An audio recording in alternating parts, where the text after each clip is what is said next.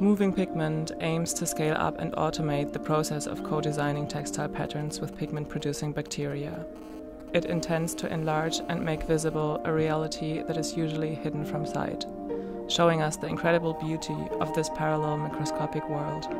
The high degree of uniformity demanded in the context of mass production and consumer capitalism has led to extensive usage of petrochemical dyes, these have disastrous impacts on ecosystems through the pollution of watercourses and landscapes.